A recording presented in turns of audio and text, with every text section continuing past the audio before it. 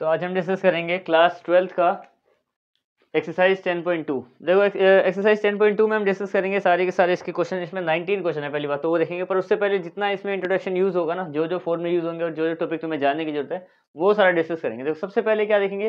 Triangle लो factorisation क्या होता है? देखो ट्राइंगल लो फैक्टराइजेशन वही होता है सेम जो पैरेललोग्राम की तरह होता है, मैं तुम्हें पहले इसको समझाऊँगा और ये अपने आप ही आ जाएगा तुम्हें समझ में। देखो ट्राइंगल लो फैक्टराइजेशन का क्या मतलब? जैसे कि मान लो ट्राइंगल का मतलब है एक ट्राइंगल ट्राइंगुलर शेप बना लो, कैसी भी। मान लो ये एक ट्राइंगुलर शेप है।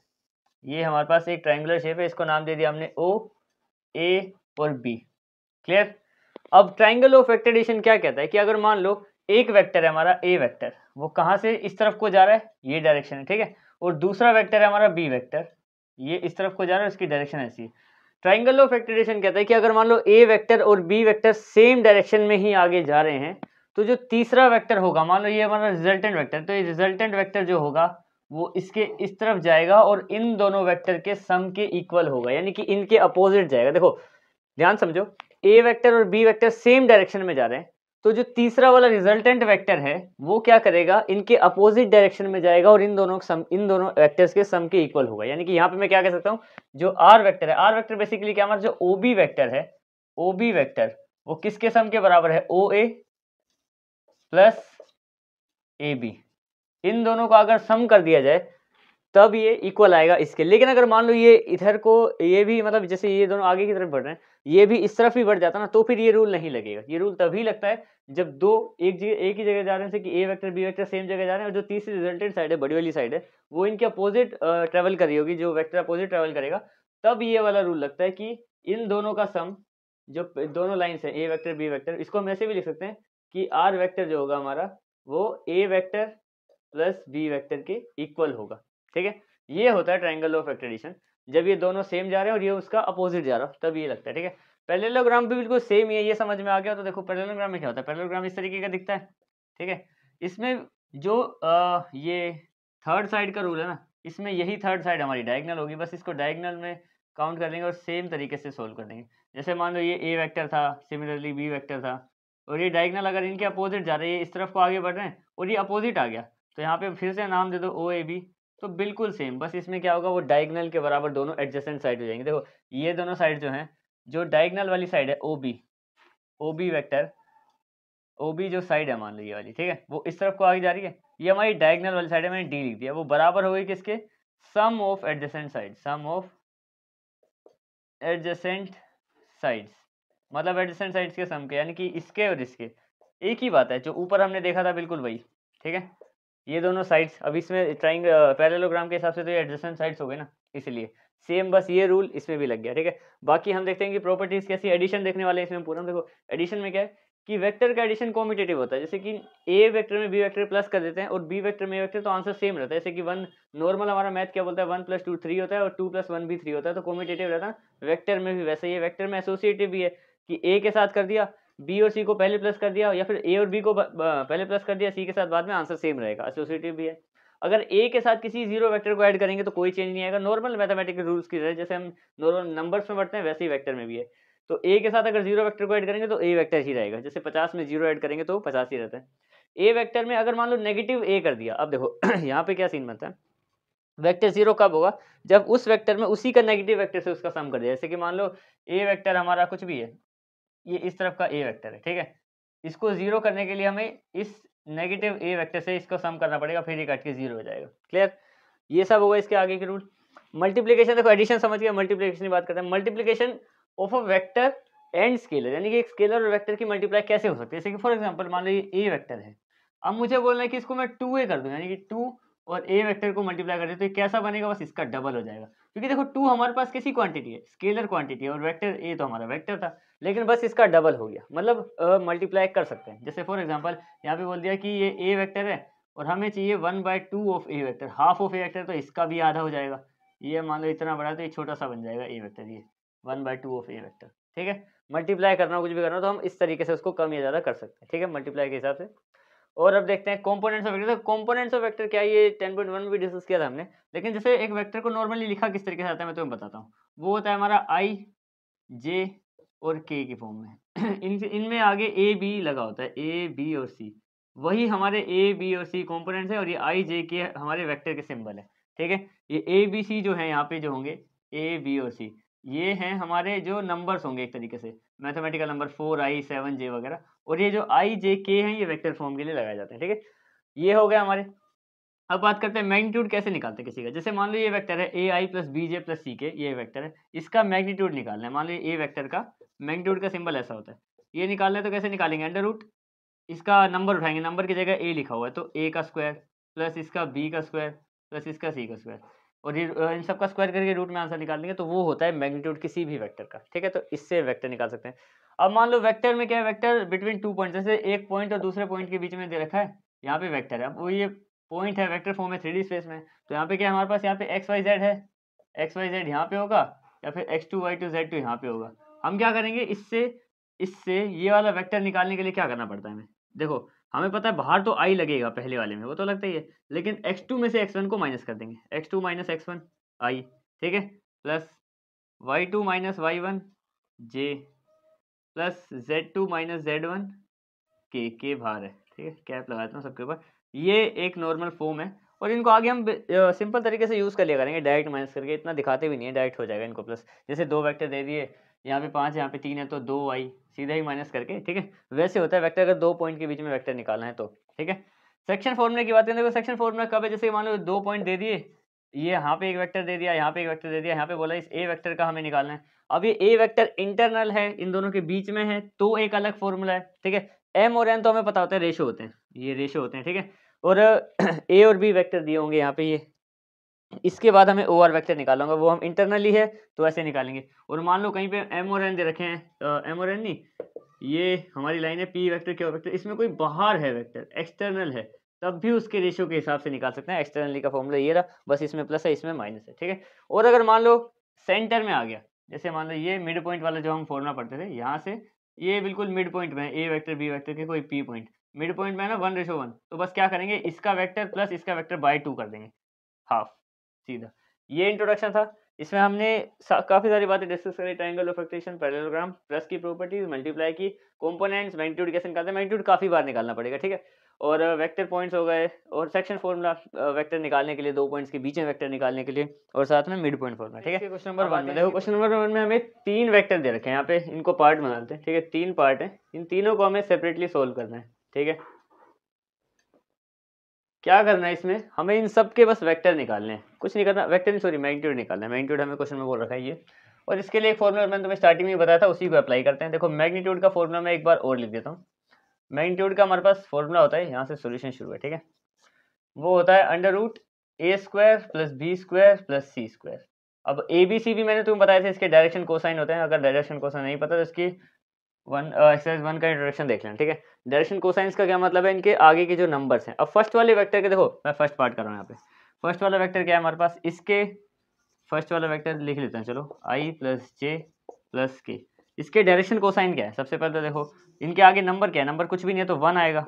इसमें भी वन इसमें भी वन और इसमें भी वन क्लियर इसको सोल्व कर दो बस। अंडर रूट ए बी और सी तो वन का स्क्वायर क्या होता है? वन वन और वन यहाँ पे आ जाएगा हमारे पास रूट थ्री पहले का आंसर हो गया कि ए वेक्टर का मैग्नीट्यूड क्या है? रूट थ्री क्लियर दूसरे पे आते हैं। सेकेंड पार्ट सेकेंड पार्ट में क्या बोला है? बी वेक्टर जो है, वो है two I minus seven J और माइनस थ्री के ये वेक्टर है, इसका भी मैग्नीट्यूड निकाल देते हैं, देखो। क्या होगा हमारे पास?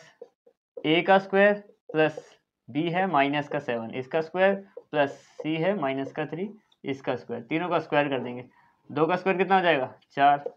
देखो स्क्वायर करेंगे तो माइनस से माइनस कर जाएगा। स्क्वायर करने के बाद पॉजिटिव आ जाएगा नंबर तो ये फोर्टी नाइन और यहाँ पे नाइन तो कितना हो गया? ये मिलके हो गए थर्टीन और ये sixty two root sixty two इसका आंसर आ गया। ठीक है? अब बात करते हैं इस वाले वेक्टर की। सी थर्ड पार्ट पे आते हैं। सी वेक्टर क्या दे रखा है हमें? वो है one by root three I plus one by root three J plus one by root three K. इसका मैग्नीट्यूड निकालते हैं। फॉर्मूला वही है। सबका ए बी सी सेम है। यानी कि वन बाय रूट थ्री, इसका स्क्वायर करना है। Plus one by root three, इसका भी स्क्वायर करना है। Plus one by root three, इसका भी। और बाकी रूट निकाल देंगे। अब देखो, इसका स्क्वायर क्या होगा? देखो, वन का स्क्वायर ऊपर वन ही हो गया। थ्री का रूट थ्री का स्क्वायर से रूट कट जाएगा तो पूरा तीन आ जाएगा। ऐसे ही वन बाय थ्री इधर भी, वन बाय थ्री इधर भी। अब क्या करेंगे? इन तीनों का हम लोग ले लेंगे एल्शियम नीचे थ्री है, नीचे आ गया थ्री सब ऊपर सेम है तो one plus one plus one यानी कि आगे करें इसको तो ये बन जाएगा थ्री बाय थ्री कट के आ गया वन यानी रूट वन और वन का रूट करें स्क्वायर करें वन ही आंसर आ जाता है। तो इसका आंसर आ गया वन अब देखो जिसका जिस भी वेक्टर का मैग्नीट्यूड वन आता है ना इसका मतलब वो यूनिट वेक्टर है। ये मैंने तुम्हें पहले बता रखा था पिछली इंट्रोडक्शन में पर फिर भी इस बार भी बता बताता हूँ कि जिसका भी मैग्नीट्यूड अगर वन आ जाए वो यूनिट वेक्टर कहलाता है ठीक है? और उसमें ऐसा निशान लगाते हैं हम लोग जैसे इस टाइप का ठीक है? तो अब हम आते हैं इसके second question number two three और फोर पे। मैंने सारे एक साथ छोटे छोटे क्वेश्चन है इस एक्सरसाइज में ना तो आधे बार ऐसा होगा कि मैं दो तीन क्वेश्चन एक साथ लिख सकता हूँ ठीक है?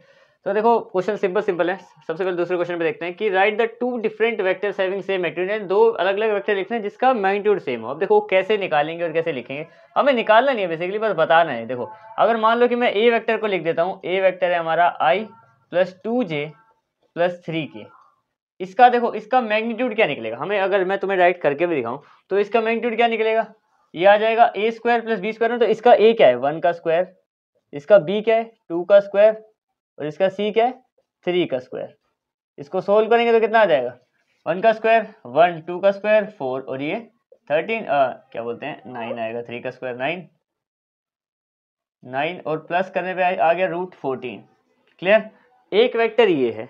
दूसरा वेक्टर देखो, हमें बोला ना दो अलग अलग वेक्टर लिखने जिनका मैग्नीट्यूड सेम हो। अगर मान लो मैं इस थ्री को इधर ले आऊँ आगे थ्री आई टू को बीच में रखें और इसको जे को के को मैं वन कर दूँ। जैसे वन टू थ्री था थ्री टू वन कर दिया मैंने, ठीक है? जब वहाँ पे प्लस ही होना है तो फ़र्क तो कोई पड़ेगा नहीं। यहाँ पे क्या हुआ? थ्री का स्क्वायर पहले आ जाएगा टू का स्क्वायर बाद में आ जाएगा और वन का स्क्वायर लास्ट में आ जाएगा।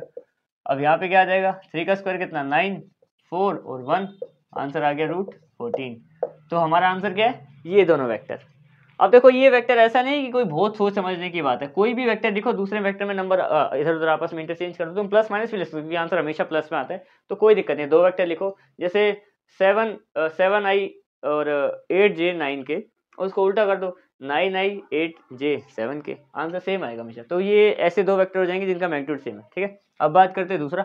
कि जिनके डायरेक्शन सेम हो। डायरेक्शन का मतलब है यहाँ पे डायरेक्शन कोसाइन से। अब डायरेक्शन कोसाइन का मैं तुम्हें पिछले फोर में बताया था, पिछले एक्सरसाइज में, लेकिन एक बार दोबारा क्लियर करता हूँ कि डायरेक्शन कोसाइन निकालते कैसे हैं। और फिर ऐसे दो वेक्टर बताना जिनके डायरेक्शन कोसाइन सेम हो, ठीक है? डायरेक्शन कोसाइन का क्या मतलब होता है? डायरेक्शन कोसाइन बेसिकली हमारा इक्वल होता है, जैसे एक वैक्टर है, उसके अपोन में उसका यूनिट वैक्टर या फिर मैग्नीट्यूड ऑफ़ वैक्टर यही मान लो हाँ magnitude of vector A vector और नीचे उसका मैग्नीट्यूड ठीक है? उस पूरे वेक्टर का। और एक एक करके स्टेप बाय स्टेप करते हैं, उससे डायरेक्शन कोसाइन निकलते हैं हमारे, ठीक है? तो डायरेक्शन कोसाइन हम निकालेंगे, ठीक है? और ये अलग अलग भी होते हैं, जैसे कि मान लो ए वेक्टर है, और ये एक ए बी मान लो, चलो यहाँ पे ज़्यादा कन्फ्यूज़न क्रिएट नहीं करनी। एक ए बी वैक्टर है जिसमें ए बी में तीन पॉइंट हाँ चलो तीन पॉइंट मान लो। ए बी वैक्टर में तीन पॉइंट हैं A vector B B vector C vector ठीक है? तो पहले में क्या करेंगे? A vector by A B vector दूसरे में B vector by A B vector का मैग्नीट्यूड ऐसी सी वैक्टर में, ये हम समझ लेंगे, अभी कोई दिक्कत वाली बात नहीं, ठीक है? ऐसे करके वो तीन तीन पॉइंट निकलते हैं, हमें बस उसका डायरेक्शन कोसाइन बताना है सब में, ठीक है? तो देखो, मान लो पहला मैंने मान लिया, पहला मैंने मान लिया कि हमारा एक ए वेक्टर है जिसमें आई जे और के है, इसका डायरेक्शन कोसाइन निकालते हैं तो डायरेक्शन कोसाइन के लिए क्या चाहिए? पहले तो मैग्नीट्यूड ऑफ़ ए चाहिए, क्योंकि नीचे वो लिखना है हमें, ठीक है? तो मैग्नीट्यूड ऑफ़ ए क्या आएगा?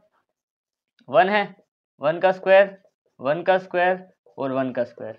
कितना आ जाएगा? One plus one plus one, यानी कि रूट थ्री डायरेक्शन कोसाइन क्या आ गया? रूट थ्री अब देखो, इसमें जो पहला है ए ए बाय ए बाय मतलब ए हमने इसका नाम ए रखा और इसको ए बी सी बोलते हैं ना, इसके हर नंबर को, पहले को। तो अगर ये ए है, और ए के नीचे हमें क्या लिखना है? पूरा उसका मैग्नीट्यूड जो भी वेक्टर का मैग्नीट्यूड है रूट थ्री यहाँ पे वन है, यानी कि इसका ए ए का डायरेक्शन कोसाइन क्या आ गया? देखो वो आया one by root three. B का क्या आ गया? बी बी भी वन है और ये तो सबका सेम ही रहेगा क्योंकि मैग्नीट्यूड सबका निकला है। बी का भी वन बाय रूट थ्री आ गया। सी का क्या रहेगा? वन बाय रूट थ्री आ गया। ठीक है? ये तो एक का आ गया। डायरेक्शन क्वेश्चन यानी बेसिकली डायरेक्शन अब मान लो एक और वेक्टर जिसकी सेम ऐसी ही आए तो उसके लिए कुछ नहीं करना। सेम कोई भी नंबर वाला ले लो। जैसे मान लो मैं ले लिया फोर का ही ले लेते हैं। Four I plus four J plus four K ठीक है? ये अलग अलग वेक्टर हैं। अब देखते हैं इनकी डायरेक्शन सेम आएगी कि नहीं आएगी। तो इसका भी पहले एक काम करते हैं मैग्नीट्यूड निकाल लेते हैं। तो ये कितना बन जाएगा? ये हो जाएगा फोर फोर का स्क्वायर इधर भी फोर का स्क्वायर और इधर भी फोर का स्क्वायर कितना हो गया? Sixteen plus sixteen plus sixteen यहाँ पे आ जाएगा प्लस करने के बाद थर्टी टू फोर्टी एट आ गया। फोर्टी एट को थोड़ा सिंपल करके लिखना पड़ेगा। फोर्टी एट से ज़रा हम इसको सोल्व करके इसका प्राइम फैक्टराइजेशन से निकाल देते हैं। तो दो टू से करेंगे ट्वेंटी फोर फिर टू से करेंगे ट्वेल्व फिर टू से करेंगे सिक्स फिर टू से करेंगे तो आएगा थ्री और फिर थ्री से करेंगे तो आ गया वन कि एक पेड़ बन गया, दो भार, एक और बन गया, दो और भार तो दो दूनी चार, और ये आ गया तीन तो इसको हम लिख सकते हैं फोर रूट थ्री इसको मैं ये लिख सकता हूँ, ठीक है? इसका मैग्नीट्यूड निकाल दे, जैसे कि इसका निकालता। अब इसमें भी ज़रा लिख के देखते हैं। देखो, अब मान इसका जो फ़र्स्ट है, इस वाले, पहले वाले डायरेक्शन को साइन को लिख रहा हूँ मैं ए वाले को, ठीक है? तो उसकी वैल्यू क्या बनेगी? ऊपर क्या है चार और नीचे क्या है इसका? Magnitude four by root three अब ध्यान से देखो, इस फोर से फोर नहीं कट जाएगा। यहाँ पे वन आ जाएगा। तो ए फिर से हमारा वन बाय रूट थ्री आ गया। बिल्कुल इसकी तरह। बी में भी क्या? बी में भी यही नीचे लिखूँगा। फिर चार से चार कट जाएगा, क्योंकि इसके पास भी चार है और इसमें भी चार है। उसमें भी चार है, इसमें हर बार कटेगा वन बाई रूट थ्री ये दोनों अलग अलग वैक्टर थे। फिर भी इनके डायरेक्शन कोसाइन सेम आ गए, ठीक है? बस कभी भी ऐसे वेक्टर का क्वेश्चन आ जाए जिसमें डायरेक्शन कोसाइन सेम निकालने हो, या डायरेक्शन सेम निकालने हो तो कुछ नहीं करना। सेम वैक्टर ले लो, जैसे कि एक वन वन ले लिए, एक सेवन सेवन ले लो, एक एट एट ले लो, बस सेम आंसर अपने आप ही सेम आएगा, ठीक है? अगला देखो, इसमें बोला find the value of X and Y X and Y की वैल्यू बतानी है इसमें। इसमें क्या है, एक ये वेक्टर है, और ये वेक्टर आपस में इक्वल हैं। इक्वल का मतलब हर एक सब्सटेंस इक्वल सब्सटेंस क्या बेसिकली एक सब्सटेंस तो केमिस्ट्री में चलेगा, पर हर एक एलिमेंट बराबर होता है आपस में, ठीक है? यानी कि ये जो, ये पूरा इसके बराबर है। यहाँ पे मैं सॉल्यूशन में दिखाता हूँ।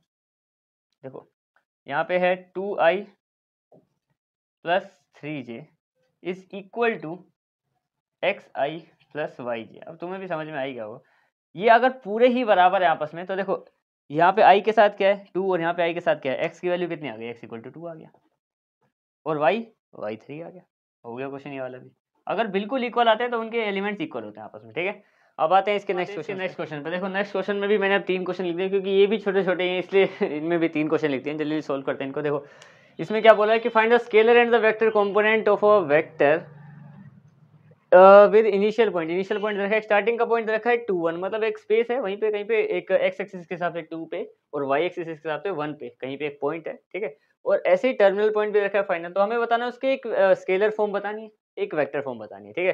तो देखो, सबसे पहले इसको इजीली सोल्व कर देते हैं, ज़्यादा कॉम्प्लिकेटेड है नहीं है देखो, सबसे पहले इसका डायग्राम बना लेते हैं। तो इसका इनिशियल पॉइंट कितना है? टू वन ठीक है? ये, और फाइनल पॉइंट कितना है? फाइनल पॉइंट है हमारा माइनस का फाइव और सेवन ये, इसको मान लेते हैं ए इसको मान लेते हैं बी अब इसमें क्या बोला पहले तो इसकी स्केलर फॉर्म बता दो। स्केलर फॉर्म कैसे बताएँगे? देखो स्केलर फॉर्म के लिए क्या, जब हम ऐसे माइनस करते हैं तो X two minus X one करते थे। तो इसका अगर स्केलर फॉर्म निकालूँ मैं या स्केलर कॉम्पोनेंट्स वगैरह तो स्केलर फॉर्म देखो कैसे आएगी उस पर हम करते थे X two minus X one और Y two minus Y one तो X two minus X one कितना होगा? देखो, इसमें से इसको माइनस करना है अब। माइनस के फाइव में से माइनस करना है टू को तो ये हो जाएगा माइनस का सेवन एक आ गया ये, ठीक है? दूसरा देखो Y two minus Y one करना है। सेवन में से माइनस करना है वन को तो कितना आ जाएगा? सिक्स आ जाएगा। तो एक बन गया, ज़्यादा लाइन करते तुम्हें दिखेगा नहीं, रुको। एक अपना सेवन आ गया माइनस का, एक आ गया सिक्स। तो ये तो है इसकी स्केलर फॉर्म। स्केलर फॉर्म क्या बनी हमारी? एक है माइनस का सेवन और एक है सिक्स, ठीक है? अब इसी की वेक्टर फॉर्म बनानी। वेक्टर फॉर्म के लिए कुछ नहीं करना पड़ता, सिंपल कर देते हैं इसको। देखो, जैसे वेक्टर कंपोनेंट बनाने इसके। वेक्टर कंपोनेंट से लिख देता हूँ। वेक्टर कंपोनेंट्स क्या बन जाएँगे? इनके आगे आई जे लगा दो। आई और सिक्स प्लस का है ना? हाँ। तो ये वेक्टर फॉर्म बन गई, ठीक है? स्केलर फॉर्म ये, वेक्टर फॉर्म वो, ठीक है? अब बात करते हैं दूसरा किसमें फाइंड द सम तीन वेक्टर दे रखे हैं, तीनों को प्लस करके बताना है, यानी कि A vector plus B vector plus C vector करके बताना है इनको। मैं इनको यहीं सोल्व कर देता हूँ। देखो, जैसे हम नॉर्मल वो प्लस नहीं किया करते थे, बस उसी तरीके से प्लस करो मैं इनको। देखो, एक आई और एक और आई मिलके टू आई बन गया। तो प्लस का टू आई और माइनस का टू आई आपस में कैंसिल हो गया ये पूरा तो हो गया ज़ीरो आई देखो, ये प्लस कहते दोनों ऊपर वाले। तो फिर one I one I two I और टू आई एक माइनस का टू आई कैंसिल ठीक है, इनकी बात करें तो यहाँ पे देखो, ये माइनस का सिक्स है और ये माइनस का टू है तो हो गया माइनस का एट माइनस के एट में से प्लस का फोर माइनस करना तो प्लस माइनस माइनस तो आ जाएगा फोर और एट बड़ा था तो निशान माइनस का माइनस का फोर जे ठीक है? ये के प्लस का है वन है, और यहाँ पे फाइव प्लस का है तो ये दोनों हो जाएँगे वन और फाइव मिलके सिक्स और सेवन में से सिक्स गया तो बच गया वन और वन हम निशान लगाते नहीं तो माइनस का के लिख दिया मैंने सीधा, ठीक है? क्योंकि देखो निशान तो बड़े वाले का ही आएगा ठीक है? बाकी वन बजा था वन हम लिखते नहीं है तो मैंने इतना कर दिया इसका सॉल्व ये भी हो गया। अब आते हैं यूनिट वेक्टर निकालना है, एक वेक्टर दे रखा है। यूनिट वेक्टर का मैंने तुम्हें बताया होगा, उसी में बताया था शायद, कि एक यूनिट वेक्टर कैसे निकालते हैं। यूनिट वेक्टर का एक सिंपल सा फॉर्मूला यूनिट वेक्टर होता है कि A vector upon magnitude of A vector अब देखो ए वेक्टर और मैग्नीट्यूड ऑफ़ ए वेक्टर तुम बोलोगे कि तो उसकी तरह हो गया डायरेक्शन कोसाइन डायरेक्शन कोसाइन और यूनिट वेक्टर में एक हल्का सा फ़र्क होता है, जैसे डायरेक्शन कोसाइन मान लो, उसके नहीं आते हमारे one by root three one by root three ये डायरेक्शन कोसाइन आते मान लेते हैं उसके, जो एक हमने प्रीवियस क्वेश्चन किया था, ठीक है? ये डायरेक्शन कोसाइंस होते हैं। लेकिन इसी को यूनिट वेक्टर बनाना हो तो बस इसमें आई जे के साथ में लगा दो। तो ये यूनिट वेक्टर में आंसर आता है। ठीक है? ये यूनिट वेक्टर तो इसमें आई जे के लगा होता है। और अगर हमें डायरेक्शन कोसाइन निकाल तो आई जे के की वैल्यू नहीं, बस हमें वो नंबर से मतलब होता है। ठीक है? वो एंगल होता है बेसिकली अभी तुम्हें इलेवन चैप्टर में पता भी चलेगा डायरेक्शन कोसाइन के बारे में और डिटेल में। ठीक है? तो इसको सोल्व करते हैं इस तरीके से। देखो, ये ए ये वन टू थ्री तो हमें पता ही है। इसका पहले वो निकालते हैं मैग्नीट्यूड तो ए वेक्टर का मैग्नीट्यूड निकालते हैं। मैग्नीट्यूड कितना आ जाएगा हमारे पास? वन का स्क्वायर प्लस ये भी वन है तो फिर दो वन हो गए यहाँ पे। इस वन का भी स्क्वायर और यहाँ पे टू है तो टू का स्क्वायर। ठीक है? वन का स्क्वायर वन वन और टू का स्क्वायर फोर, यहाँ पे आ गया रूट सिक्स। ठीक है? अब इनके यूनिट वेक्टर बताने में रेशोज बताने होते तो हम आई जे के नहीं लगाते, लेकिन अब हमें आई जे के लगाने पड़ेंगे सब में, ठीक है? तो देखो, पहला क्या हो गया हमारा? पहला आएगा हमारा यहाँ पे वन है ना? वन, क्योंकि देखो, इसमें वेक्टर हमें लिखना है तो one by root six one by root six I I लगाते ही अभी यूनिट वेक्टर है, ठीक है? दूसरा क्या है हमारे पास? दूसरा, यहाँ पे प्लस भी लगाएँगे साथ में। हाँ यूनिट वेक्टर को पूरे तरीके से लिखेंगे। और ये है फिर से one by root six J ठीक है? अगला क्या है? टू बाय रूट सिक्स के ठीक है? ये हो गया हमारा आंसर अब आते हैं इसके आते हैं अगले क्वेश्चन पे। देखो अगले क्वेश्चन में क्या बोला है? फाइंड द यूनिट वेक्टर एक यूनिट वेक्टर निकालना है इसमें भी इसमें भी यही बोला है कि हमें यूनिट वेक्टर निकालना है। देखो मेन क्या है इसमें? कि पहले वाले में बोला यूनिट वेक्टर निकालना है दो पॉइंट रखें। हमें एक वेक्टर चाहिए होता है यूनिट वेक्टर निकालने के लिए तो पॉइंट से वेक्टर निकालने का मैंने तो बता रखा है कि एक से दूसरा नंबर माइनस करेंगे तो हमारे पास एक वेक्टर आ जाएगा। और इसमें क्या बोला है कि देखो एक वेक्टर दे दिया ए वेक्टर और बी वेक्टर तो इन दोनों का यूनिट वेक्टर निकालना है, पर इन दोनों को प्लस करने के बाद। तो इन दोनों को पहले प्लस कर देंगे और सेम तरीके से दोनों क्वेश्चन होंगे, ठीक है? बट दोनों में वेक्टर निकालने का तरीका अलग है, एक में पॉइंट से निकालना एक में प्लस करके वेक्टर बना देंगे, उसके बाद उसका मैग्नीट्यूड इसमें भी उसके बाद उसका मैग्नीट्यूड ठीक है? तो देखो सोल्व करते हैं पहले। इसमें क्या है? ये हमारे पास पी क्यू वेक्टर है ना तो पी क्यू वेक्टर आएगा कैसे? मैं डायरेक्ट लिख देता हूँ, देखो। फोर में से वन गया, देखो, पहले में से एक्स वाले में से एक्स फोर में से वन गया, कितना बचा? थ्री आई क्लियर फाइव में से टू गया, थ्री जे, और सिक्स में से थ्री गया तो कितना? थ्री के। ये हमारा पी क्यू वैक्टर है। अब पी क्यू वैक्टर का मैग्नीट्यूड भी निकाल लेते हैं। तो कितना हो जाएगा? थ्री का स्क्वायर प्लस थ्री का स्क्वायर और प्लस थ्री का स्क्वायर। ये हो जाएगा nine plus nine plus nine, यानी कि रूट ट्वेंटी सेवन। ठीक है? रूट ट्वेंटी सेवन हमारे पास ये आ गया। अब हमें क्या बोला इसका? हमें लिखना है इसका बस, अब यूनिट वेक्टर लिखना है बस हो गया।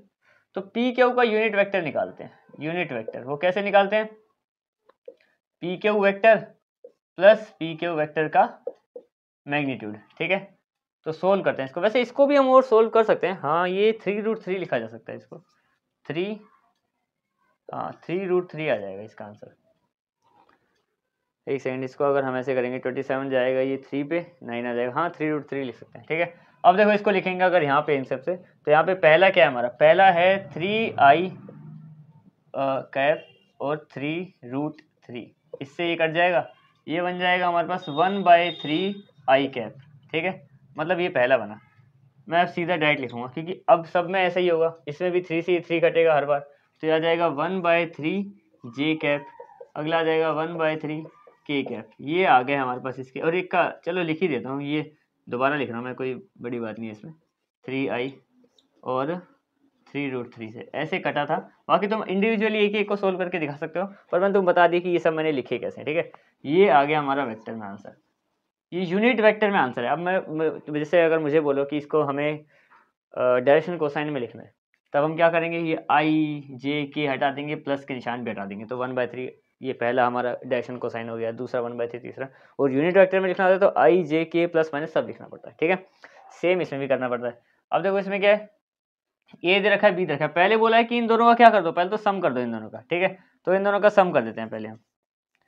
तो ए प्लस बी वेक्टर कर देते हैं, ठीक है? तो ए प्लस बी वेक्टर क्या आएगा? टू टू आई है और यहाँ पे माइनस का वन है, क्योंकि यहाँ पे माइनस है ना तो वन तो दो में से एक गया, एक बच गया तो आई आ गया। क्लियर यहाँ पे माइनस का जे है, वहाँ पे प्लस का जे है। जे से जे कट गया, यानी कि जे कितना हो गया? ज़ीरो के की बात करें तो टू के है यहाँ पे, और एक माइनस का के है। तो यहाँ पे भी एक के बचेगा, क्योंकि दो में से एक गया, एक बच गया। ये हमारे पास आ गया एक यूनिट वेक्टर इन दोनों को प्लस करने के बाद, इन दोनों को। अब क्या करना होता है हमें यूनिट वेक्टर के बाद यूनिट वेक्टर निकालने के लिए? इसका ऊपर इसको लिख देंगे, नीचे इसका मैग्नीट्यूड लिखेंगे। तो मैग्नीट्यूड देखो क्या अपने पास तो मैग्नीट्यूड निकाल लेते हैं तो ए और बी का मैग्नीट्यूड, ऐसे करके सीधे सीधे लेंगे, ठीक है? तो निकाल लेते हैं। यहाँ पे वन है उसका स्क्वायर यहाँ पे तो कुछ ज़ीरो है, देखो ज़ीरो का स्क्वायर ज़ीरो ही होगा। चलो फिर भी लिख देते हैं टाइम पास के लिए। और यहाँ पे भी वन है, इसका भी स्क्वायर हो गया, ठीक है? ये हो गया सोल्व करने के बाद वन प्लस वन, यानी कि कितना आ गया? रूट टू ठीक है? अब इस रूट टू को हमें किसमें यूनिट वेक्टर में लिखना है? यानी कि किसका? A plus A vector plus B vector का यूनिट वेक्टर लिखेंगे हम। यूनिट वेक्टर इस तरीके से ठीक है? तो वो फॉर्मूला क्या बनेगा हमारे पास? वो बनेगा ए प्लस बी वैक्टर और नीचे ए प्लस बी वैक्टर का मैग्नीट्यूड ठीक है? बस इसमें इसको अप्लाई कर देंगे। तो पहला नंबर क्या है? वन uh, इस वेक्टर का हाँ वन है वन बाय रूट टू अगला ये तो ज़ीरो है अगला प्लस इसमें भी वन है और वन बाय रूट टू यानी कि one by root two I और plus one by root two K क्योंकि जे तो है ही नहीं ठीक है? तो ये इसके यूनिट वेक्टर का आंसर आ गया ठीक है? अब हम आते हैं अगले क्वेश्चन अगले क्वेश्चन पे। अब ये क्वेश्चन भी छोटे से इसलिए मैंने इसमें तीन कर दिए ठीक है? इजी क्वेश्चन है। देखो क्वेश्चन नंबर टेन में हमें क्या बोला है? क्वेश्चन नंबर टेन में हमें बोला है कि फाइंड अ वेक्टर हमें एक वेक्टर निकालना है ठीक है? एक वेक्टर फाइंड करना है in the direction of this vector एक दूसरा वेक्टर हमें दे रखा है यहाँ पे ये वाला ठीक है? जिसका जो कि ये वाला जो वेक्टर है ना, इसका मैग्नीट्यूड विच हैज़ इसमें बोला कि देखो find the vector in the direction of this vector which has magnitude eight units यानी कि जो इसका वेक्टर है, उसका मैग्नीट्यूड एट यूनिट्स के बराबर है, ठीक है? अब देखो, इसको निकालेंगे कैसे? सोल्यूशन अब देखो, सबसे पहले हमें क्या? ए वेक्टर हमें निकालना है, मान लेते हैं। यहाँ पे ये है फाइव आई माइनस जे और प्लस टू के के इक्वल ठीक है? अब इसका क्या करते हैं? पहले तो मैग्नीट्यूड निकाल लेते हैं।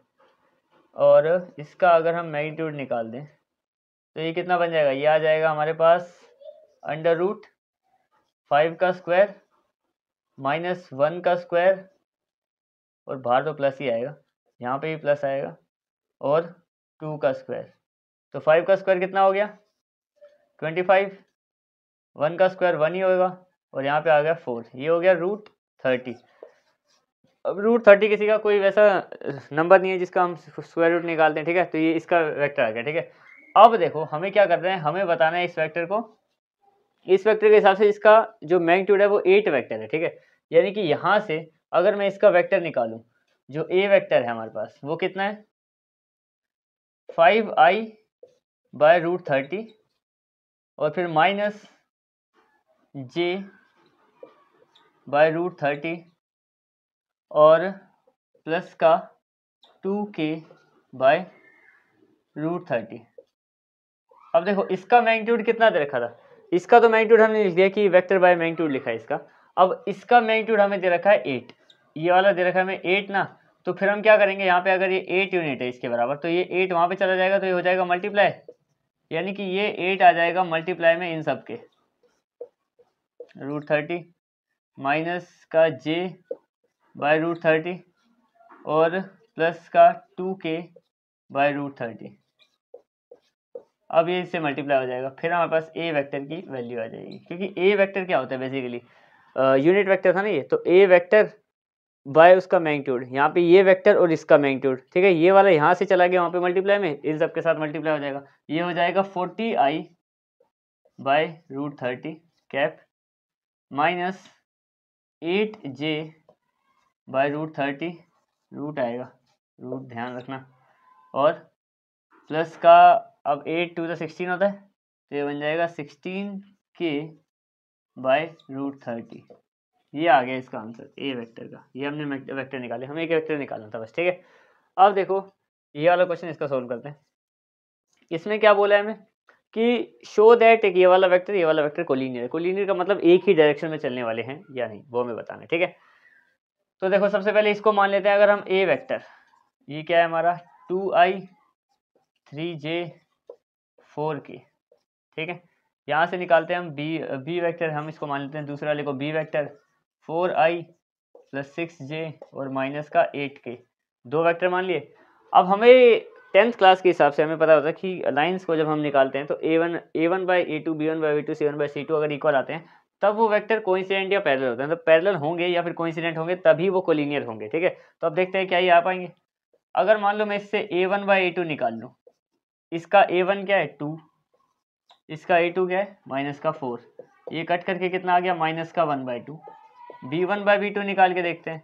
ये है माइनस का थ्री ऊपर सिक्स नीचे, ये भी आ जाएगा कितना? माइनस का one by two C one by C two देखते हैं। C one by C two कितना है? फोर और माइनस का एट यानी C one by C two कितना आ गया? फोर और माइनस का एट। जब इसको कट करेंगे तो भी कितना आ जाएगा? माइनस का वन बाई टू। इसका मतलब क्या है यहाँ पे? कि हमारे पास A one by A two equal to B one by B two equal to C one by C two है। Then the vectors are collinear क्योंकि देखो, जब ये कंडीशन आती थी, तब हमें पता था कि वो कोइंसिडेंट होते हैं। कोइंसिडेंट का मतलब क्या है कि एक के ऊपर एक है या तो पैरेलल है, और ऐसे होंगे सेम डायरेक्शन में तो हमें पता है वो कोलिनियर होंगे, एक की तरफ़ आगे बढ़ रहे होंगे। ठीक है? तो ये हो गया। अब आते हैं इसके क्वेश्चन नंबर ट्वेल्व पे। इसमें देखते हैं कि find the direction cosine of a vector एक वेक्टर दे रखा है हमें, ये बस सिंपल इसका डायरेक्शन कोसाइन निकाल के रख देना जैसे यूनिट वेक्टर में हमें वो लिखना पड़ता है ना आई जे की, वैसा नहीं लिखना, बस डायरेक्शन कोसाइन निकालो साइड में रख दो, ठीक है? तो अगर इसको हम ए वेक्टर मान लेते हैं तो ये A I plus two J plus three K है, ठीक है? इसका पहले तो यूनिट वेक्टर इसका यूनिट वेक्टर निकालते हैं। यूनिट वेक्टर नहीं मैग्नीट्यूड तो ए का मैग्नीट्यूड क्या आएगा? अंडर रूट वन का स्क्वायर प्लस टू का स्क्वायर और प्लस थ्री का स्क्वायर। कितना हो जाएगा? ये मिल के आ जाएगा वन का वन हो जाएगा, टू का फोर, इसका नाइन। यानी ये आ गया रूट फोर्टीन, ठीक है? अब इसका क्या करना है? डायरेक्शन को साइन लिख लें। तो डायरेक्शन को साइन सार। और डायरेक्शन को साइंस को हम एल एम एन से रिप्रेजेंट करते हैं वैसे। तो एल कितना आ गया हमारे पास? एल पहला होता है। तो one by root fourteen. M कितना आ गया? Two by root fourteen. और एन कितना आ गया? Three by root fourteen answer ठीक है? अब आते हैं इसके नेक्स्ट क्वेश्चन करते हैं इसका क्वेश्चन नंबर थर्टीन और क्वेश्चन नंबर फोर्टीन देखो क्वेश्चन नंबर थर्टीन में क्या बोला हमें डायरेक्शन कोसाइन निकालने हैं। दो वेक्टर दे रखे हैं हमें। दो वेक्टर दो पॉइंट दे रखे हैं सिर्फ़। हाँ दो पॉइंट दे रखे हैं उसको ए टू बी में निकालने क्वेश्चन हमने सेम पहले से कर रखा है ठीक है?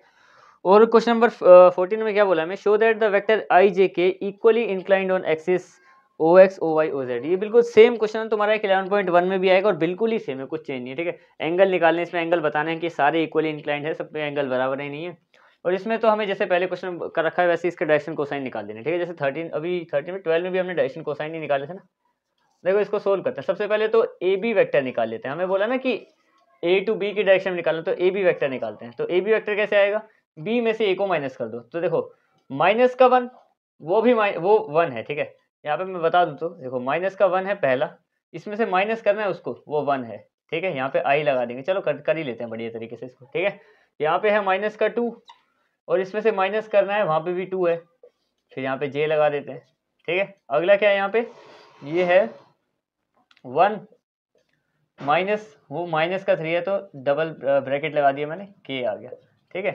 इसको सिंपल करके लिखो तो माइनस का टू आई माइनस माइनस ये भी हो जाएगा माइनस का फोर जे, और ये वन, और ये दोनों मिलके भी प्लस हो जाएगा दो माइनस तो थ्री प्लस वन फोर, यानी कि प्लस का फोर के। ये बन गया हमारे पास ए बी वैक्टर। इसका क्या करना है? डायरेक्शन कोसाइन निकाल देना है, बस। तो निकाल दो। एक इसका मैग्नीट्यूड चाहिए उसके लिए हमें। तो मैग्नीट्यूड निकाल लेते हैं। मैग्नीट्यूड कैसे निकालेंगे? माइनस टू का स्क्वायर, प्लस माइनस के फोर का स्क्वायर, प्लस फोर का स्क्वायर। ये हो जाएगा हमारे पास फोर सिक्सटीन सिक्सटीन यानी कि thirty six which is equals to six क्योंकि थर्टी सिक्स का रूट हमें पता है स्क्वायर रूट वो सिक्स होता है, ठीक है? यहाँ से बस इसके डायरेक्शन को साइन लिख देना है। डायरेक्शन को साइन क्या होता है? बेसिकली हमारा एंगल होता है, या फिर एल मान लो। मान लो क्या एल एम एन और एंगल्स की फॉर्म में भी लिख सकते हैं डायरेक्शन को साइन को, और एल एम एम की फॉर्म में भी लिख सकते हैं, ठीक है? तो पिछले में मैंने लिखा था एल एम एन की फॉर्म में, इसमें भी वही कर रहा हूँ, क्योंकि इसमें एंगल नहीं पूछा। इसमें एंगल पूछा, इसमें एंगल की फॉर्म में भी लिखेंगे, ठीक है? तो एल एम एन देखो एल क्या है यहाँ पे हमारे पास? पहला माइनस का टू है, यानी कि माइनस का टू बाय सिक्स ध्यान से समझो माइनस का टू बाई सिक्स कितना आ गया? ये आ गया है माइनस का one by three L clear equal to लगा देता हूँ। हाँ। एम की बात करें तो एम कितना है? माइनस का फोर बाय नीचे कितना है अपने पास? सिक्स ये कितना आ गया? माइनस का टू बाई थ्री एन निकाल लेते हैं एन कितना है? प्लस का फोर है प्लस का फोर बाय सिक्स यानी इससे कट हो जाएगा तो टू बाई थ्री तीनों डायरेक्शन को साइन ये हमने, निकाल दिया यहाँ पे, ठीक है? ये हमसे पूछे थे कि डायरेक्शन को साइन निकाल तो वो हमने निकाल दिया। अब ये वाला क्वेश्चन हमसे पूछा, ये बिल्कुल अलग है, अभी तक के क्वेश्चन में, पर आगे आगे और अगले चैप्टर में ऐसे क्वेश्चन बहुत आने वाले ठीक है? Show that the vector I J K तीनों इंक्लाइन होने चाहिए इस एक्सेस पे, जैसे पे तो मैं डायग्राम बना के दिखाऊँ पहले। जैसे ये तीन पॉइंट रखे ना, ये वेक्टर है, ठीक है? वेक्टर्स आएँगे यहाँ पे, ठीक है? तीन वेक्टर्स हैं। एग्ज़ाम्पल के लिए जैसे कि ये लाइन्स होती हैं, ठीक? ये एक्स एक्सिस है, ये वाई एक्सिस है, ये जेड एक्सिस है, इसके बीच में ओ है। यहाँ पे मैं क्या बोला है कि जो वेक्टर है ना, ये एक कोई भी रैंडम हवा में मान लो यहाँ पे कहीं वेक्टर है, इस तरीके से थ्री स्पेस में, ठीक है? ये है हमारा वो वेक्टर इसको नाम दे देते हैं, चलो ए नाम दे दिया मैंने, ठीक है? ये ए वेक्टर है। अब इनको प्रूव करके हमें ये दिखाना है कि ये जो वेक्टर है ना, ये एक्स एक्सिस के साथ जो एंगल बना रहा है, जिसको हम अल्फ़ा कहते हैं और वाई एक्सिस के साथ जो बना रहा है, जिसको हम बीटा कहते हैं, क्योंकि एक ही लाइन सबके साथ एंगल बना सकते हैं, बिल्कुल बना सकते हैं। जैसे कि मान लो कि मैंने एक यहाँ पे लाइन खींच ये वाली। और अगर टू की बात करें तो वाई एक्सिस के साथ भी एक एंगल है एक्स एक्सिस के साथ भी है तो थ्री में भी सबके साथ बनेगा ऑब्वियस बात है। और ये जो जेड है गामा थ्री स्पेस में, इसके साथ भी एक एंगल बनाएगा गामा ये। तो ये अकेला वेक्टर तीनों एंगल बनाएगा। हमें ये बताना कि वो तीनों के तीनों इक्वल है कि नहीं इक्वल इंक्लाइंड है कि नहीं, बस ये बताना ठीक है? अब कैसे बताएँगे? बिल्कुल टेंशन लेने की ज़रूरत नहीं, देखो कितना ईजी है। सबसे पहले ए वेक्टर क्या है अपने पास? आई जे के वेक्टर क्लियर इसका निकाल दो क्या? मैग्नीट्यूड वो कितना आ जाएगा? वन का स्क्वायर वन का स्क्वायर वन का स्क्वायर क्योंकि सब में वन है सर यहाँ पे आ जाएगा one plus one plus one यानी रूट थ्री आ गया। ठीक है? ये आ गया। अब डायरेक्शन कोसाइन लिखते हैं। डायरेक्शन कोसाइन में मैं तुम्हें टेन पॉइंट वन में क्लियर किया था मैंने। लेकिन फिर भी समझ लो। जो एल होता है ना, वो बेसिकली कोस एल्फा के बराबर होता है। क्लियर जो एम होता है मैं फिर से बता रहा हूँ, ठीक है? वो कोस गामा कोस बीटा के बराबर होता है और जो एन होता है वो कोस गामा के बराबर होता है। ये ये तीन चीज़ याद रखो, ठीक है? हम इन तरीके से यूज़ करते हैं, जब हमसे सिर्फ़ डायरेक्शन कोसाइन पूछाते हैं एल एम एन की फॉर्म में। एंगल पूछा तो कोस पे आ जाओ एंगल भी निकालते हैं, कोई दिक्कत नहीं, ठीक है? तो अब एंगल निकाल लेते हैं, ठीक है? यहाँ से पहला एल क्या है हमारे पास? ये है one by root three one by root three M क्या है हमारे पास? Same one by root three और एन क्या है हमारे पास? Same one by root three अब एंगल पूछा है। वो भी बराबर है नहीं, वो भी देख रहे हैं। अब ये किसके बराबर होता है? एल कोस एल्फा के बराबर है। ये किसके बराबर है? कोस बीटा के बराबर है। ये किसके बराबर है? कोस गामा के बराबर है। ठीक है? अब देखो कि एंगल्स बराबर हैं या नहीं है। देखो, अगर ये कोस अल्फ़ा के बराबर है, अगर मैं कोस को इधर भेज दूँ, ये, इस तरफ़ तो अल्फ़ा की वैल्यू यहाँ पे क्या आएगी? अल्फ़ा आ जाएगी cos inverse one by root three ध्यान से समझो। मैंने कोस को इधर भेज दिया ठीक है? अल्फ़ा यहीं पे छोड़ा अल्फ़ा ही हमारा एंगल है एंगल की वैल्यू की बात हुई यहाँ पे ठीक है? तो इसका आ गया कोस इनवर्स अब मैं यहाँ से बीटा को मतलब बीटा को यहीं रखूँ ठीक है? और फिर से कोस को इधर भेज दूँ तो ये भी बन जाएगा cos inverse one by root three क्योंकि यहाँ पे भी वन बाय रूट थ्री है। इसको भेज दे गा, गामा को मान लो मैं यहीं रखता हूँ ठीक है? यहाँ पे इसको भेज दें तो ये भी बन जाएगा cos inverse one by root three तो हो गया? हमारे सारे के सारे एंगल बिल्कुल सेम है cos inverse one by root three one by root three और सब में ही सेम है। तो हम बोल सकते हैं कि yes it is equally inclined ठीक है? अब आते हैं इसके अगले आते हैं क्वेश्चन नंबर फिफ्टीन में। देखो क्वेश्चन नंबर फिफ्टीन में हमें क्या बोला है कि find the position vector of R which divides the line joining two points whose position vectors are एक वेक्टर ये दे रखा है दूसरा वेक्टर ये दे रखा है R in the ratio of this two और वन के रेशो में दे रखे हैं। इंटरनली भी निकालना है एक्सटर्नली भी निकालना है। दोनों का फॉर्मूला हमने स्टार्टिंग में डिस्कस किया था, अभी दोबारा बताते हैं। पर पहले क्वेश्चन को समझते हैं। क्वेश्चन क्या है बेसिकली कि हमारे पास, मान लो, दो पॉइंट्स हैं, या फिर दो वेक्टर हैं। एक वेक्टर है हमारा पी और एक वेक्टर है हमारे पास क्यू पी के कोऑर्डिनेट्स क्या रखे हमारा? देखो, पहले वाला पी है रिस्पेक्टिवली बोला ना? हाँ तो ये है। ये है आई प्लस टू जे और माइनस के और क्यू वेक्टर क्या है हमारे पास? ये है माइनस का आई प्लस का जे और प्लस का के, ये दो वेक्टर्स हैं क्लियर इसके बीच में कोई यहाँ पे इस, इतना डिवाइड कर लेते हैं, क्योंकि रेशो कितना रखा है? टू वन का दे रखा है ना, ये टू रेशो है, ये वन रेशो है। यहाँ पे एक आर है, इस आर वेक्टर को हमें बताना है। बेसिकली आर क्या है? एक पोजीशन वेक्टर है। पोजीशन वेक्टर क्या होता है? कहीं से भी आर रखा होता है तो एक ऐसे टाइप से बनता है वो। मान लीजिए इसका सेंटर ओरिजिन है कहीं से तो ओ आर वैक्टर हमें निकालना है, ठीक है ये इस पर गिरा हुआ है, इस तरीके से गिरा है ये वैक्टर कि ये टू और वन में डिवाइड हो गया तो हमें इसका वैक्टर निकाल के बताना है इस पॉइंट का, ठीक है? या फिर नहीं, इस इसका वैक्टर नहीं पॉइंट का वैक्टर नहीं होता कभी ओ आर का वैक्टर बताना है बेसिकली बस, ठीक है? तो ओ आर का वैक्टर दो तरीके से निकालेंगे इंटरनली भी एक्सटर्नली भी फॉर्म में दोनों लिखेंगे, दोनों को सस्ते में सोल्व कर देंगे, मज़ा आ जाएगा, देखो। सबसे पहले, इसका फॉर्मूला क्या है? फॉर्मूला है हमारे पास ओ आर वैक्टर पहले हम इंटरनली निकाल रहे हैं। इंटरनली का क्या है? M B plus N A by M plus N ठीक है। एक्सटर्नली का क्या फॉर्मूला है? एक्सटर्नली का फॉर्मूला है हमारे पास M B minus N A by M minus N हाँ बस ये दोनों फॉर्मूला अप्लाई करेंगे, इसका वेक्टर भी बन जाएगा, उसका भी इंटरनली भी एक्सटर्नली भी, ठीक है? तो देखो कैसे निकालते हैं। सबसे पहले एम कितना दे रखा है हमें? एम है हमारे पास टू, पहला वाला एम होता है, दूसरा वाला एन होता है। तो टू है। इसके साथ बी वेक्टर लिखना है, जो ये दूसरा वाला वेक्टर मान रखा है हमने, ये वाला, ठीक है? तो ये है माइनस का आई जे और के माइनस का आई प्लस का जे और प्लस का के इसके साथ प्लस करना है। एन हमारा वन ही है। इसके अंदर कौन सा? पहले वाला वेक्टर आएगा तो I plus two J minus का के बस इनको सोल्व कर देंगे। अच्छा नीचे भी है। नीचे क्या है? एम प्लस एन यानी टू प्लस वन ये।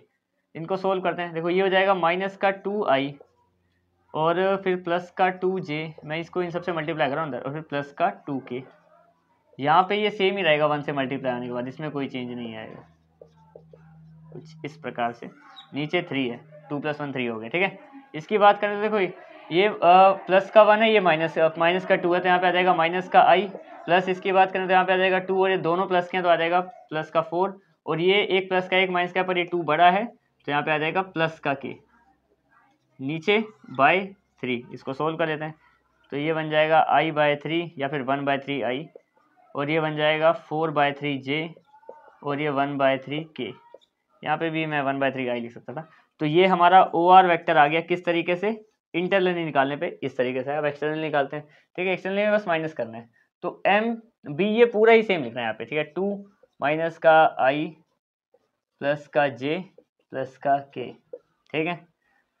प्लस करना है नहीं इस बार माइनस करना है। इस बार हमें माइनस करना है। माइनस का वन आएगा और ए वेक्टर ये रहा हमारे पास इधर ही ये है हमारे पास इसका ए वेक्टर ठीक है? बाय बाय है टू माइनस सोल्व करो। ये सेम ही आ जाएगा माइनस का टू आई प्लस का टू जे और प्लस का टू के। यहाँ पे बस ये सब का साइन चेंज हो जाएगा, अंदर माइनस आ जाएगा यहाँ पे, ठीक है? तो देखो, माइनस की वजह से ये हो जाएगा माइनस का आई, और ये भी बन जाएगा माइनस का जे, माइनस का टू जे, और साथ में ये बन जाएगा माइनस माइनस माइनस प्लस हो जाएगा तो प्लस का के आ गया, ठीक है? और नीचे क्या है? नीचे हमारे वन है, और वन को इस बार, इससे आगे हम लिखेंगे नहीं, क्योंकि टू माइनस वन वन होता है नीचे वन डिवाइड से कोई फ़र्क नहीं पड़ता। अच्छा ये टू है, और ये भी दोनों माइनस माइनस के तो आ जाएगा माइनस का थ्री आई, माइनस का टू, माइनस का वन, ठीक है? अच्छा ये प्लस का टू जे माइनस का टू जे काट गया ये दोनों प्लस के हैं तो ये हो जाएगा प्लस का थ्री के और ये इसका आंसर आ गया। नीचे वन है नीचे वन से कोई फ़र्क नहीं पड़ता। डिवाइड करने पे भी सेम ही आता है ठीक है? ये होगा क्वेश्चन नंबर फिफ्टीन अब आते हैं इसके नंबर सिक्सटीन और सेवनटीन पे। ये हमारे लास्ट वैसे क्वेश्चन है जो बिना एमसीक्यू वाले हैं। इसके बाद बस दो एमसीक्यू रहेंगे वो कंप्लीट और ये वाली एक्सेस कंप्लीट ठीक है? अब देखो इसमें पहले में क्या बोले कि मैं पोजिशन वैक्टर निकालना है मिड पॉइंट वाला। मिड पॉइंट वाले के लिए मैं तुम्हें सीधा एक फॉर्मूला बताया था कि A vector plus B vector by two कर देना आंसर आ जाएगा अपने आप ठीक है? ये है, वो ये इसलिए है क्योंकि देखो, m और जो n है इसमें, वो तो होगा ही नहीं क्योंकि m और n अगर ये सेंटर में है मिड पॉइंट तो वन और होगा तो वन से मल्टीप्लाई करना m को n को कोई फ़र्क नहीं पड़ेगा तो a और b ही रहने वाले। तो a और b को बस प्लस करना टू से डिवाइड करना, ठीक है? तो इनमें से सोल्यूशन करते हैं पहले।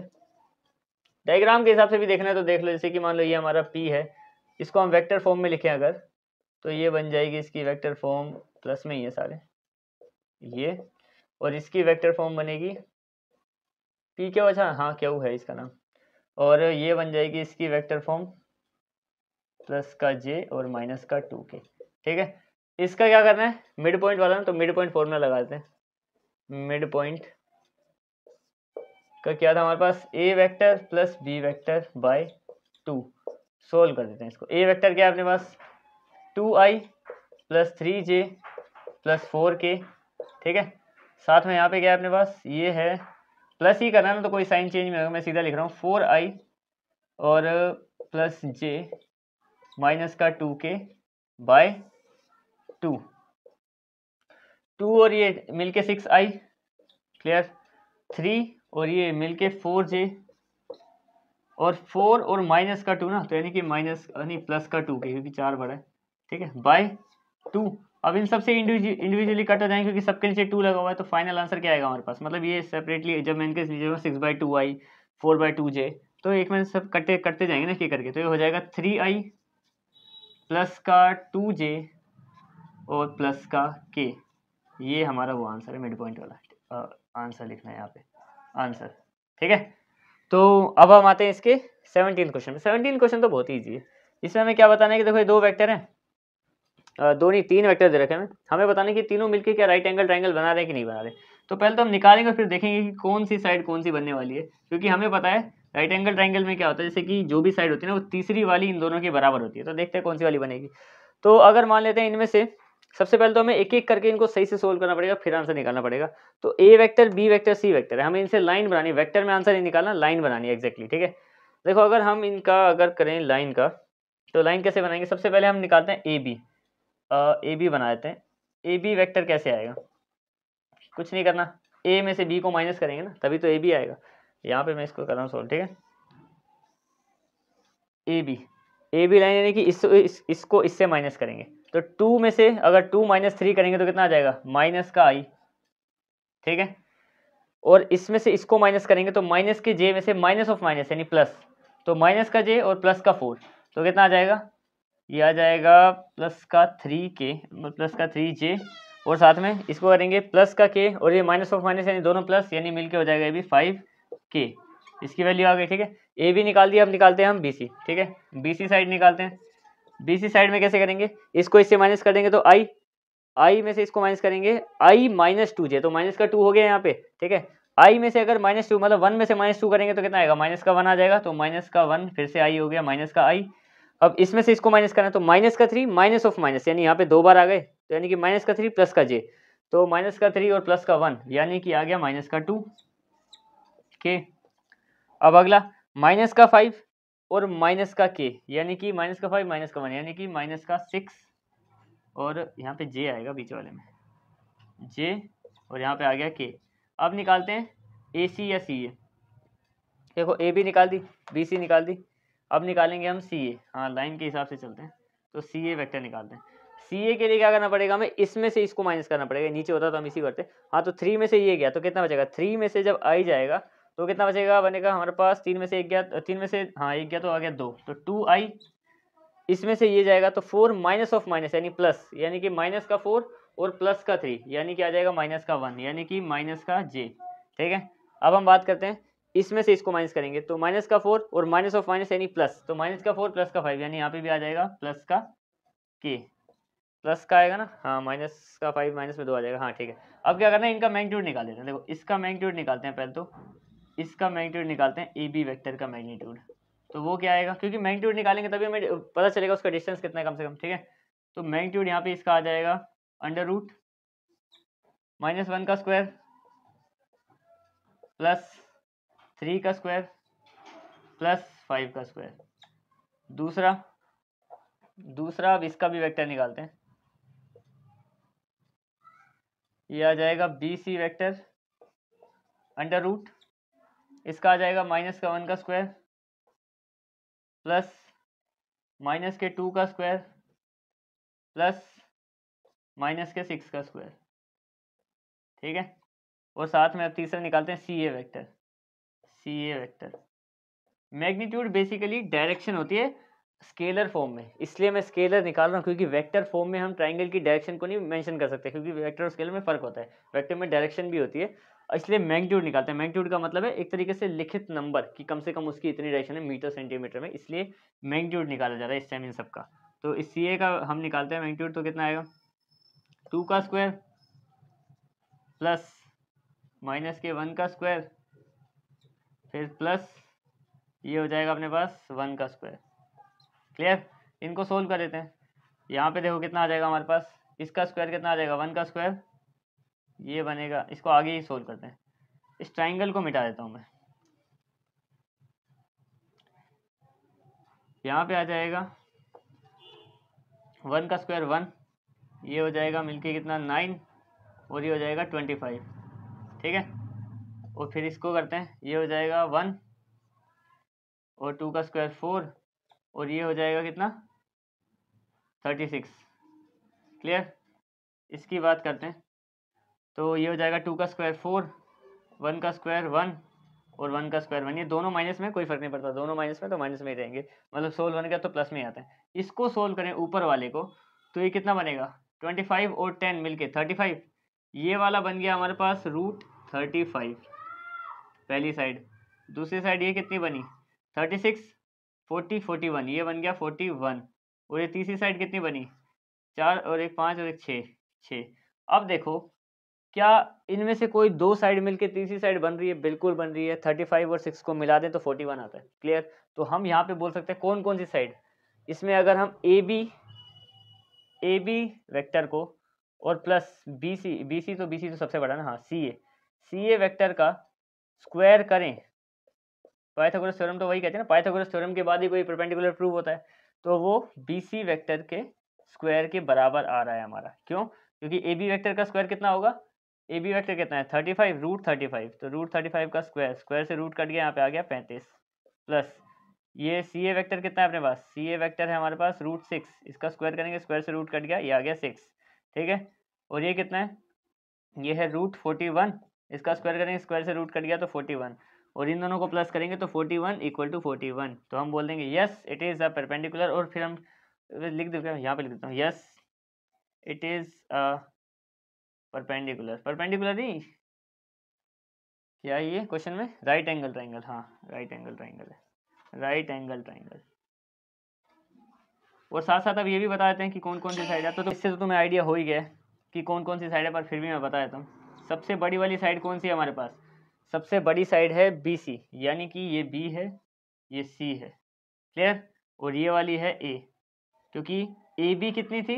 रूट थर्टी फाइव ये बताने की ज़रूरत नहीं है वैसे फिर भी बता रहा हूँ। रूट सिक्स और मिलके कितनी आ गई? रूट फोर्टी वन आंसर अब इसके दो एमसीक्यू देख लेते हैं फिर ये खत्म हो जाएगा। अब हम आते हैं। इसके लास्ट के दो एमसीक्यू पे बस ये दो एमसीक्यू खत्म और ये वाली एक्सरसाइज हमारी क्लियर ठीक है? देखो, दो एमसीक्यू में बताने को तो मैं टिक लगा सकता हूँ, पर एक बार सारे समझा देते हैं कि कैसे कैसे वो हैं या नहीं है। देखो, पहले क्या बोला है कि ट्राइंगल है? ट्राइंगल के हिसाब से बताना इसमें से कौन सा ट्रू नहीं है। ध्यान समझो, कौन सा ट्रू नहीं है, ठीक है? अब इनमें चार इक्वेशन है। हमने ट्राइंगल ऑफ़ एक्टेडेशन क्या पढ़ा है? जैसे मान लो ये ए बी है और ये ये दोनों सेम डायरेक्शन में है और ये इसके अगेंस्ट है, यानी इस तरफ़ नहीं नहीं जाके उस तरफ़ है, यानी कि इसका मतलब है जो ए सी है ए सी वैक्टर वो A B plus B C vector के इक्वल होना चाहिए। ये ट्रू स्टेटमेंट है। इसके हिसाब से जो जो सेटिस्फाई हो रहा है, वो ट्रू है, जो नहीं हो रहा, वो फॉल्स है, ठीक है? पहला देखो, अगर मान लो ए बी प्लस ए सी यानी ये वाला, अगर मैं इस ए सी को उधर भेज दूँ, उस तरफ़, ठीक है? तो ये देखो, जब ये इन दोनों के बराबर है, मान लो ये पंद्रह और ये पंद्रह आ रहा है, अगर मैं इसको वहाँ पे भेज दूँ तो ये पंद्रह और वो पंद्रह मिलके फिर ज़ीरो नहीं हो जाएगा। बिल्कुल हो जाएगा। देखो, अगर मान लो कि कोई नंबर है, दो और तीन को मिला के पाँच आ रहा है, मैं दो और तीन का सम करके वहाँ भेजूँ तो पाँच माइनस पाँच हो जाएगा तो इक्वल टू ज़ीरो नहीं आ जाएगा। तो यानी कि पहली स्टेटमेंट तो ट्रू है, ये तो ट्रू है। ट्रू के लिए चलो मतलब कट कर देते हैं कि ये सही है, इसलिए मैं कट कर रहा हूँ, क्योंकि गलत वाले पे टिक लगाएँगे, ठीक है? दूसरा देखो, इसमें क्या है ए बी प्लस ए सी लिखा है यहाँ पे? अब देखो सी ए और ए सी में फ़र्क क्या है? देखो, अगर मान लो कभी भी ये सी ए लिखा है सी ए वैक्टर ठीक है? और ये वैक्टर लिखा है ए सी ये दोनों बिल्कुल आपस में इंटरचेंज है, लेकिन नेगेटिव ए सी का मतलब सी ए ही तो होता है। जैसे कि मान लो, ये सी A vector C A vector हम ऐसे लेके चल रहे हैं एग्ज़ाम्पल के लिए। ए सी वैक्टर तो ऐसे आ गया फिर, लेकिन अगर नेगेटिव ए सी की बात करें तो वो सी ए ही तो है। नेगेटिव ए सी सी है देखो, सी ए और नेगेटिव सी ए में क्या फ़र्क होता है? सी ए ये है, नेगेटिव सी ए ये है अलग अलग हो गए, लेकिन सी ए और नेगेटिव ए सी, देखो, सी ए ये, ए सी ये, नेगेटिव ए सी तो वही हो गया ना, देखो, ये सी ए जा रहा है इस तरफ़, ठीक है, क्लियर? और ए सी आता है इस तरफ़, लेकिन नेगेटिव ए सी है तो उसको उल्टा जाना पड़ेगा, उसका तो दोनों सेम डायरेक्शन में जा रहे हैं, यानी कि ये बिल्कुल एक्जैक्टली उसकी तरह सेम है, यानी कि ये भी सेम है तो ये भी ज़ीरो आएगा, कट जाएगा आंसर बाद में, ठीक है? ये इसको रहने दो। तीसरा देखो, अगर ए बी ए सी है और फिर ए बी ए सी यानी वही मान लो पंद्रह आ रहा है, दोनों को प्लस करके, ठीक है? यहाँ पे कौन सी डायरेक्शन ले रखी है इन्होंने? नेगेटिव सी ए हमें देखो, यहाँ तक ठीक है, यहाँ पे हम उसको लेके आ गए सी ए बन गया, लेकिन क्या ये नेगेटिव सी ए और पॉजिटिव सी ए सेम है? नहीं। नेगेटिव सी ए का मतलब होता है, जैसे सी ए जहाँ जा रहा है, वहाँ पे नेगेटिव ए सी जा रहा है, लेकिन जो नेगेटिव सी ए की बात करें, वो कहाँ जाएगा? वो तो उल्टा जाएगा। ये तो दोनों ठीक जा रहे थे, ये गलत जा रहा है। पहला गलत हुआ है अभी। और एक ही गलत होता है, वैसी बात है, ये हमारा सही आंसर है कि ये वाला जो है वो सही नहीं है नोट ट्रू ठीक है? ये फॉलो कर रहा है सी ए कहाँ पे सी ए की डायरेक्शन में दिखा दी नॉर्मल अगर मान लेते हैं ये डायरेक्शन ठीक है? ए सी की उल्टी होती है, पर नेगेटिव ए सी भी सी ही बन गया फिर तो क्योंकि उल्टा चल रहा है ए सी ऐसे जाता है, पर नेगेटिव ए सी को उधर जाना पड़ेगा तो सी ए की तरह सेम हो गया। लेकिन नेगेटिव सी ए सी ए की तरह सेम नहीं होता वो उल्टा जाएगा तो ये तो हो गया वेल इसकी बात करें, देखो ये सी ए है, ये ठीक है, इसकी जगह कोई दिक्कत नहीं है ए बी की जगह कोई दिक्कत नहीं बी सी को लिखा है इन्होंने सी बी बी सी को सी बी लिखा तो ये भी गलत हो जाता। लेकिन नेगेटिव लगा दिया ना तो ये भी सेम है। मान लो बी सी इधर जा रहा है। बी सी इधर जा रहा है तो सी बी इधर जाना चाहिए था, पर नेगेटिव सी भी उधर ही जाएगा, यानी कि ये भी उसको पूरा सेटिस्फाई करे कंडीशन को। तो ये भी मतलब सही है, इसलिए मैं इसको काट रहा हूँ क्योंकि हमें गलत वाला बताना था, जो कि मैंने बता दिया, ठीक है? अब हम देखते हैं कि देखो, दो हमें वेक्टर दे रखे ये वेक्टर कोलिनियर है। कोलिनियर वाला एग्जैक्ट हमने क्वेश्चन किया था। कोलिनियर कब होते हैं? जब A one by A two equal to B one by B two होता है। और equal to C one by C two होता है, यानी कि रेशो हमारे प्रोपोर्शनल होते हैं सारे। तब हमारा जो तीनों आपस में इक्वल होते हैं, तब हमारा वो क्या होता है? एक कोलिनियर बनता है। अब देखो, इसमें हमें पता है कि देखो, कौन सा वाला सही आंसर है? सही आंसर ये वाला है। इसमें भी हमसे ये पूछा है कि कौन सा सही नहीं है इनकरेक्ट वाला। तो इनकरेक्ट तो वही, हम जब, हमें पता है वो प्रोपोर्शन होता है, ये तो बोल रहे हैं नॉट प्रोपोर्शन तो वो तो होते हैं तो ये तो गलत हो गया, लेकिन ये बाकी तीन सही कैसे वो भी देख लेते हैं। देखो, इसमें क्या बोला है बी वेक्टर हमेशा इक्वल रहेगा लेमडा ए वेक्टर है लेमडा की कोई भी स्केलर वैल्यू रख लो, जैसे कि मान लो, इनका आ रहा है हमारा फोर बाय थ्री आ जा रहा है हर बार, क्योंकि देखो, हर बार सेम होगा, तभी तो कोलिनियर होंगे ए वन बाई टू मान लो ये आ गया हर बार, ठीक है? इसमें बी को तो कुछ नहीं छेड़ रहा ए के साथ मैं लेमडा लगा दूँ, यहाँ पे मैं लेमडा लगा दूँ, या फिर एक लेमडा की जगह कोई भी तीन लगा दूँ, चार लगा दूँ मल्टीप्लाई में पाँच लगा दूँ मल्टीप्लाई करके पचास हो गया तो सब में पचास हो जाएगा। क्योंकि मान लो लेमडा यहाँ लगा दिया, यहाँ लगा दिया, यहाँ लगा दिया। Four lambda by three four lambda by three four lambda से अभी भी प्रोपोर्शन है। लेमडा की वैल्यू पाँच रख दूँ तो मल्टीप्लाई पाँच, चार पंजे बीस बीस बाय तीन, बीस बाय तीन, बीस बाय तीन, अभी भी सेम है, हर बार सेम रह रहे हैं तो कोई दिक्कत नहीं, अभी भी सिचुएशन ट्रू है। तो इसमें तो लेमडा साथ में लगाने पे उसकी कोई वैल्यू लगाने पर कोई फ़र्क नहीं आएगा, ठीक है? इसकी बात करें ए वैक्टर को, देखो ए वैक्टर जो है, वो बी वैक्टर के प्लस या माइनस के इक्वल है। जैसे मान लो, ये ए वैक्टर है, हमारा, ये फोर है, ठीक है? और बी वेक्टर क्या है हमारा? चाहे माइनस का फोर हो, चाहे दूसरी कंडीशन में प्लस का फोर हो। आंसर वही आने वाला है। माइनस का, इसमें माइनस का वन बाय वन इसमें वन बाय वन और ऐसे में हर जगह सेम ही रहेगा one by one one by और माइनस का वन बाय वन माइनस का वन बाय अगर वो वैसे ही बिल्कुल इक्वल है, बस साइन का ही फ़र्क है तो भी प्रोपोर्शन होने ही है उनको, क्योंकि फोर बाय फोर हमेशा वन आएगा। और अगर अगर हर बार ए वेक्टर और बी वेक्टर के सारे कंपोनेंट माइनस में है तो माइनस का वन माइनस का वन माइनस का वन तीनों में आ गया। तब भी प्रोपोर्शन सेम होते हैं तो प्रोपोर्शन होते हैं। इसमें भी सेम आ रहे हैं। और इसमें भी सेम ही हैं, चाहे लेमडा की वैल्यू कुछ भी रख लो। मैं दस रख दूँगा तो चालीस बाय तीन, चालीस बाय तीन, चालीस बाय तीन, क्योंकि मल्टीप्लाई होंगे ना चार और दस, ठीक है? ये तो गलत है, इसको हमने देख लिया। ये वाला सही कैसे देखो, इसमें क्या बोला कि वेक्टर ए और बी हैविंग सेम डायरेक्शन वो तो पता ही जब कोलिनियर होते हैं कोलिनियर का मतलब क्या है कि डायरेक्शन उनकी बिल्कुल ऐसे रहने वाली है तो एक के ऊपर एक रहने वाली है। तो डायरेक्शन तो होगी सेम ठीक है? लेकिन मैग्नीट्यूड उनका अलग हो सकता है। ओबियस सी बात है, दो वेक्टर है। मान लो स्पेस में एक एक वेक्टर ए घूम रहा है, छोटा सा, एक वेक्टर बी घूम रहा है, बहुत बड़ा। इनकी डायरेक्शन सेम है, वो हमें पता चल गया कोलिनियर होने की वजह से, पर ज़रूर थोड़ी कि मैग्नीट्यूड हो। मैग्नीट्यूड तो एक छोटा सा है, इसका मैग्नीट्यूड मान लो दो सेंटीमीटर इसका मैग्नीट्यूड पचास सेंटीमीटर तो डायरेक्शन सेम है, इसका मतलब ये थोड़ी कि ज़रूरी कि वो मैग्नीट्यूड भी सेम हो। तो ये कंडीशन बिल्कुल ट्रू है कि डायरेक्शन सेम हो सकते हैं, पर मैग्नीट्यूड का हर बार नहीं है कि वो सेम होगा। एक ही सिचुएशन थी जो गलत थी कि वो प्रोपोर्शनल नहीं है, प्रोपोर्शनल तो होते ही हर बार, तभी तो कोलिनियर है, ठीक है? तो ये हो गया हमारा पूरी की पूरी एक्सरसाइज टेन पॉइंट टू। अब मिलते हैं किसी नेक्स्ट सेशन में